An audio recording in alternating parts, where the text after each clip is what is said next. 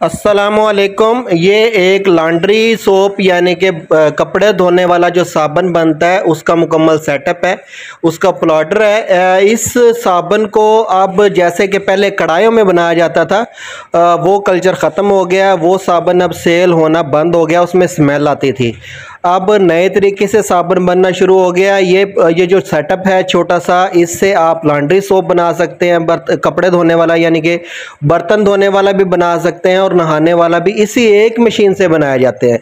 ये आपको छोटा सा बैच बना के दिखाते हैं। इसमें सबसे पहले हम नूडल लेंगे। नूडल वही इस्तेमाल करेंगे जो हम नहाने वाला सोप बनाने के लिए, यानी कि ब्यूटी सोप या बाथ सोप बनाने के लिए इस्तेमाल करते हैं।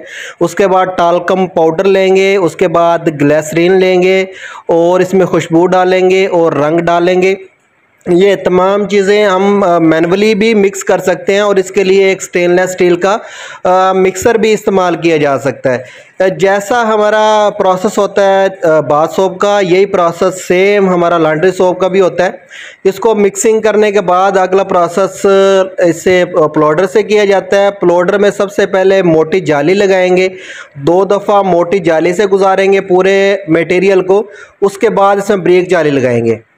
ब्रिक जाली से ब्रिक नूडल निकलेगा इस सारी जालियाँ लगाने का या प्लॉटर से गुजारने का मेन मकसद ये होता है कि अच्छी तरह गूंद गूंद दिया जाए। जैसे कि आटा गूंदा जाता है, इस तरह इस मटेरियल को भी गूंद दिया जाता है ताकि इसका कलर है या इसकी खुशबू है या तमाम इसका मटेरियल आपस में एक दूसरे में जिम हो जाए मिक्स हो जाए।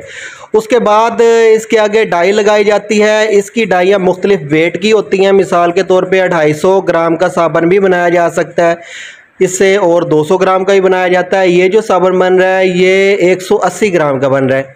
ये हर इलाके में अपना अपना कल्चर होता है। किसी जगह पे 250 ग्राम की टिक्की ज़्यादा सेल होती है, किसी जगह पे 200 ग्राम और किसी जगह पे 150 ग्राम तक की टिक्की इस्तेमाल की जा सकती है। ये इसकी शेप नियर अबाउट इसी तरह ही होती है, जैसे हमारा बर्तन धोने वाला साबुन होता है।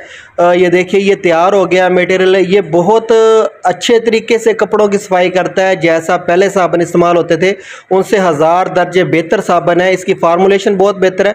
अगर ये बिज़नेस करना चाहते हैं, या इस बिज़नेस को सीखना चाहते हैं, या इसके बारे में मज़ीद मालूम हासिल करना चाहते हैं तो स्टार्ट कारोबार कंपनी का नंबर स्क्रीन पर दिए गया इस नंबर पर रबता करके इसके बारे में मालूम हासिल कर सकते हैं।